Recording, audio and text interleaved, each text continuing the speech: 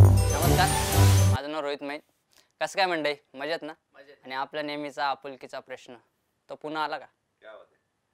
नाही अरे आता आला होता मध्ये दोन तीन दिवस काहीतरी ऐकायला आलं. हा म्हणजे पावसाचं काही नेम नाही सांगता येत ना. कधी येईल कधी जाईल. बहुतेक गेला तो गेलाच वाटतं. ठीक आहे असो. आता तुम्हाला माहिती आहे का आपल्या देशामध्ये काय चालू आहे? आपला देश कुठपर्यंत चाललाय? ए टपरीवर कोण बोलला रे? टपरी बिपरीवर नाही. चल. हा म्हणजे आता काय चालू आहे आपल्या देशात? आता आपल्या देशात सध्या साखर जोरात चालू आहे. बारामतीची साखर माहिती आहे का? आणि ते फक्त मराठी माणसालाच माहिती आहे की ऊस मुळापासून मोठा कसा करायचा? आणि तो केलेला आहे. आणि तो केलेला आहे. बरं ठीक आहे. इथपर्यंत ठीक होतं. मध्येच इथपर्यंत सर्व व्यवस्थित चालू होतं. मजेत चालू होतं मस्त एकदम. मध्येच कांदा आला. सगळ्यांच्या गावात बदलली बदल करून टाकल्या सगळ्यांनी. म्हणजे आणि आला तर आला. बरं साल्याने काळा कांदा पण सर्वांच्या स्वतःसोबत सर्वांची लाल करून जातो. काय करणार पुढे? याच्यापुढे आपण काय बोलू शकतो का? ह्याला काय अर्थच नाही. तू काळा. त्याच्यात तू लाल करतो स्वतःची. स्वतःसोबत दुसऱ्यांची पण करतो. मजा नाही ना काय भावा? इथपर्यंत ठीक होतं. चल जाऊ दे. रिचार्ज. रिचार्जचे रेट का वाढवले? आमचं ठीक आहे. आमच्यासारख्या तोंडाकडे कोण बघत नाही. ते बाबू पिल्लू शोना यांचं गणित बिघडून जातं राव म्हणजे महिन्याचं. ते बाबू पिल्लूचं जाऊ दे. ते बाबूच्या आधीच एल फॉर लाले लागलेले असतात. त्याच्यात आता बी पण लागलेत.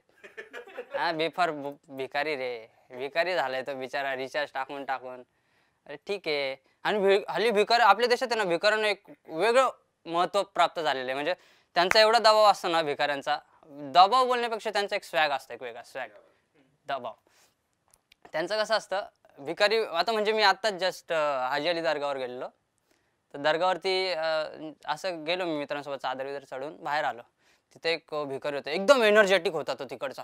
हे मोला दे दे अल्लाह के नाम पे दे दे भगवान तेरा भला करेगा अल्लाह तेरा भला अरे बोललो थांब थांब घे दहा रुपये. ओरडतो कशाला? प्रेमाने बोल ना. अरे काय? इथपर्यंत ठीक होतं. त्याच्यानंतर मग मी अं, मंदिरात गेलो. मंदिरात नेहमीच जाणं होतं. तर मंदिराच्या बाहेरचे भिकारी ना खूप सायलेंट असतात. एकदम शांत टोन असते त्याची. एकदम बोलायची टेक्निक खूप वेगळी असते. ए बाबू दे ना रे भाऊ. काहीतरी दे भूक लागली. गर्लफ्रेंडला घेऊन हॉटेलमध्ये जायचं. अ तुझ्या आईला बोललो गर्लफ्रेंडला घेऊन हॉटेलमध्ये जायचं भिकारीने गर्लफ्रेंड बनवली? नाही. गर्लफ्रेंडने भिकारी बनवलंय अरे भाई चाललंय काय देशामध्ये आपला? हा आपला देश. काय युवा पिढी बोललो? अरे इथपर्यंत ठीक होतं. एकदा मी लोकल ट्रेनमध्ये गेलो. लोकल ट्रेनमधले पण भिकाऱ्यांचं काहीतरी म्हणजे एकदम जगाच्या वेगळंच काहीतरी असतं. ते म्हणजे ते ते हातात काहीतरी असतं खाटकुट खाटकुट वाजत असतात. ते आणि त्याच्यात परदेसी परदेसी जाना नाही जा. अरे तो उदित नारायण मेला गाणं ऐकून. त्यांनी जर हे आधी ऐकलं असतं त्याला जर माहिती असतं आपल्या गाण्याचं असं काय होणार आहे तर तो बोललाच नसता गाणं. तो आमिर खानला बोलला असता बाबा तू जा. ती करिश्माला पण घेऊन जा. काही घेणं त्यांनी नाही मला तुझ्याशी. तर हे झालं लोकल ट्रेनचं आणि जे गावाकडच्या गाणं जाणाऱ्या गाड्या असतात ना आता माझं गाव शिर्डी म्हणून मी सहसा शिर्डीला नेहमी येणं जाणं होतं ते शिर्डीला कसं जाताना जेव्हा ऐकतो काय माहीत कुठून येतात चाले शिर्डीवाले साई बाबा. अरे ते बाबा वैतागले आता तेच तेच ऐकून ऐकून. त्यांची झोप उडाली आहे. झोप उडाली अक्षरशः त्यांची. ते पण बोलतात रे बस कर आता. बस. सबका मालिक एक. ठीक आहे. इथपर्यंत ठीक झालं. त्याच्यानंतर आहे ना एकदा असंच आम्ही आम्ही सर्व तुमचं आमच्या जमलेचे कलाकार आहे ना असंच ट्रेनमध्ये चाललेलो लोकलमध्ये. एका ठिकाणी शो होता. पण लोकलमध्ये आम्ही कोण कोण होतो? आपला डोक्याला ताप राजू जगताप. विलास पांचा साहेब होते. राज नजन पनवलकर साहेब आपले. तुमचं आमचं जमल्याचे ते होते. आणि त्यांच्यासोबत मी होतो. आणि एक भिकारी आला. भिकारी आला आणि येऊन बसला आमच्या बाजूला. तर तर डोक्याला ताप त्यांनी तर खरंच डोक्याला ताप करून सोडला त्याच्या. तो त्याला विचारतो भिकाऱ्याला त्या माणसाला असं शांत बसवतच नाही त्या राजूला. तो असं भिकाऱ्याला विचारतो कुठून आला तू? काय करतो? किती कमवतो दिवसाला? महिन्याचं इन्कम किती होतं मग तुझं? जेवला का तू? मग जेवायला कुठे जातो? रात्री झोपतो कुठे? तो भिकारी माझ्या कानात येऊन बोलतोय यार तुम्ही याला कसं झेलता रे खरंच? आता बोलला आमचं दुःख आम्हाला माहिती बरं त्याचं झालं. आपले पांचा साहेब त्याला साईडला घेतला भिकाऱ्याला. काय करतो तू? साहेब गाणे बोलून उदरनिर्वाह करतो. उदरनिर्वाह? चांगली गोष्ट आहे. मी काय बोलतो? तू गाणे नको बोलत जाऊ. तुझं ऑब्झर्वेशन वाढव. तू स्टँडअप कर. तू लोकलमध्ये स्टँडअप कर. आणि तू मिमिक्री कर. अरे भिकारी बोलतो ठीक आहे. माणसाला खाज असते माहिती आहे पण एवढी? अरे काय माणूस आहे? मी भिकारी आहे. मला प्लॅटफॉर्म नाही. प्लॅटफॉर्म असतं तर मी केलं असतं. ठीक आहे. ते झालं. आपला राज. भिकारी. परत राजचं चालू आहे. भिकारीने परत केलं. भिकारी माझ्या काळात बोलतो. ठीक आहे ना. मान्य आहे आम्हाला की तुम्ही स्टँडअप करता. पण मेंटल हॉस्पिटलमधून कशाला धरून आणला तुम्ही याला? अरे ते नुसतंच हसतंय नुसतंच हसतंय ते. भीती वाटायला लागली मला त्याची आता. हायला. ते झालं. आपला पनवलकर भाई फुल. त्याचं सगळ्यांचं झाल्याच्यानंतर त्याला सुमडीत घ्यायचं साईडला. अरे एक काम कर ना भावा. तू इथे कुठे भीक मागतो? तू कळव्याला ये भीक मागायला. मी बोललो कळव्याला भीक तो भिकारी बोलतो कळव्याला भीक मागायला. अरे जाम स्कोप आहे भेंडी कळव्याला तुला काय माहिती? बोलतो हा का? अं, मग तू कशाला झक मारायला स्टँडअपला अंधेरीला जातो? बोललो काय बोलू यार यार तू राहा ना गप्प. काय गरज होती का तुला त्याला बोलायची? तो चाललाय ना त्याचं आपलं आपलं. दोन दोन रुपये दोन दोन रुपये. इथपर्यंत ठीक होतं. आता तो भिकारी फुल संतापलेला आणि तिथं आता ह्या पाच जणांमध्ये मी एकटाच राहिलेलो. त्याला वाटलं हे बेनं पण काहीतरी टोचतंय आपल्याला. तो मला माझ्याकडे बघ. आता तुझं काय? माझं काय नाही रे बाबा. अरे काहीतरी असेल आता एवढ्याने सगळ्यांनी माझ्या डोक्याची काशी केली. तू काहीतरी करशीलच. मी बोललो नाही रे तसं काय नाही. माझ्या पण डोक्यात आता विचार आहे स्टँडअप सोडून तुझ्यासोबतच करिअर करावं. वॅकन्सी असेल तर सांग मला. तो पण बोलतो अरे भावा तुमचं आमचं जमलं बरं का. दॅट्स फ्रॉम माय साईड नमस्कार मंडळी. कसं चाललंय? मजेत नाही एकदम हसताय ना? हसायलाच पाहिजे. आता ते नवीन खुळ आलंय म्हणे. हाऊस द जोश कसलं? हाऊस द जोश तसंच विचारतो. How's the josh how's the josh हा तुमचा आवाज आला पाहिजे. ऐकायला येत नाही मंडळी तुमचा आवाज. असा असं नाही नाही. अजून नाही आला. अजून आता कसं? कानाचे पडदे फाटले पाहिजे डायरेक्ट कानाचे पडदे फाटले पाहिजे. आता ते मोठे मोठे लोक आहेत तुम्ही बाबा. बहुत बड़े बड़े लोग हैं हाँ? बड़े बड़े लोग हैं अभी हिंदी में बोलते हैं थोड़ा. समझेगा बहुत बड़े बड़े लोग हैं आप.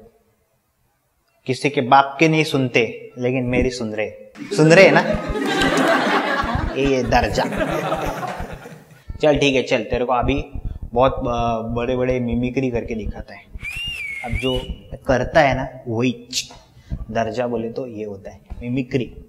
मेरे को आता है, वो दिखाता है चल मिमिक्री। पहले वो बोले तो अमरीश पुरी साहब अमरीश पुरी साहब का आवाज़।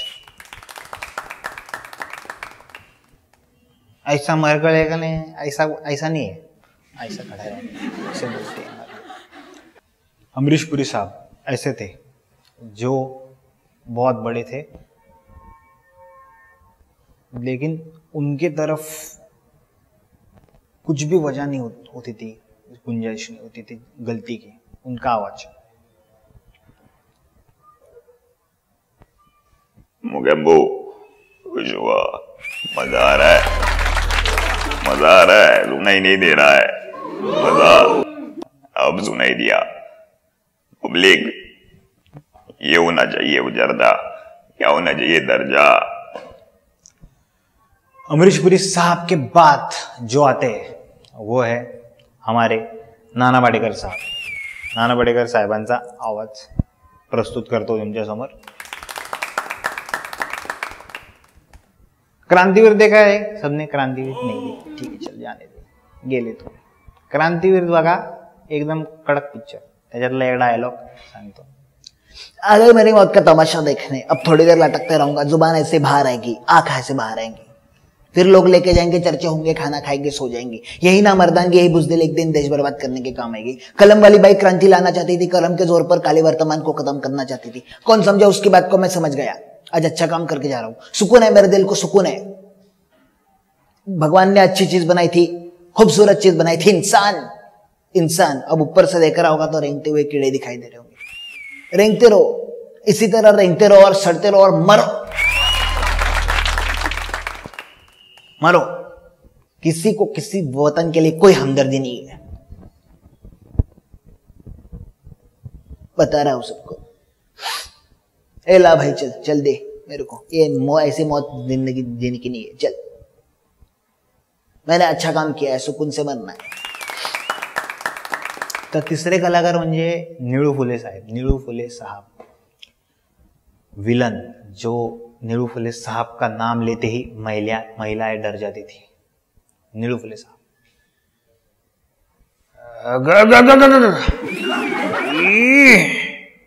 वाड्यावर या। काय लावलंय मंडळी? मजा येते का नाही? मग टाळ्या वाजवा ना. टाळ्या अशा वाजवा. अशा वाजवू नका. तुमच्यावर हा. आता पाणी प्यायचं का शेण खायचं हे तुमच्या तुमच्या हातात. चांगलं काम करा हाच एक संदेश देतो. माझ्यासारखं चांगलं काम. मी चांगलं करतो ना बाई. चांगलं काम कर. देव माणूस.